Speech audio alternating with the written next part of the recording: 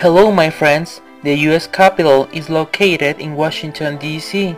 It is the meeting place of the United States Congress. It was inaugurated in 1800.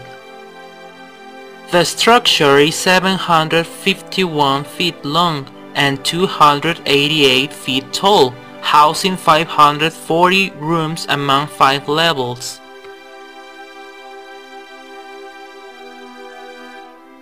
The interior of the dome is covered by the apotheosis of Washington. It represents Washington becoming God. Thirteen maidens form a circle in the middle of the fresco, representing the original thirteen colonies.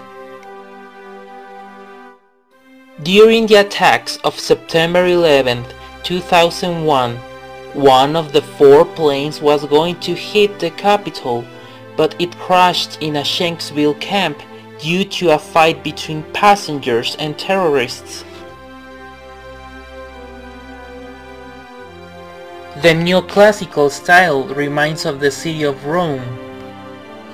It is a building full of Masonic symbolism. I recommend you investigate it. You will be surprised. Thanks for watching the video. Subscribe and like. See you soon.